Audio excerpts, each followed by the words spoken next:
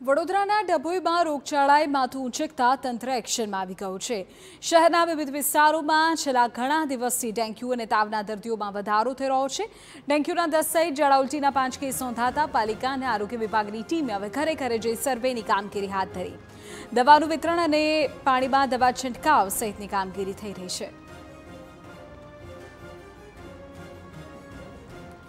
તો જે પ્રકારે અત્યારે રોગચાળો બાજા મૂકી રહ્યો છે, તેને લઈને વડોદરાના ડભોઈમાં આરોગ્ય વિભાગની ટીમ અત્યારે એક્શનમાં આવી છે. અલગ અલગ સ્થળો પર સર્વેની કામગીરી કરવામાં આવી રહી છે. જ્યાં પાણીનો ભરાવો હોય ત્યાં દવા છંટકાવ સહિતની કામગીરી પણ થઈ રહી છે.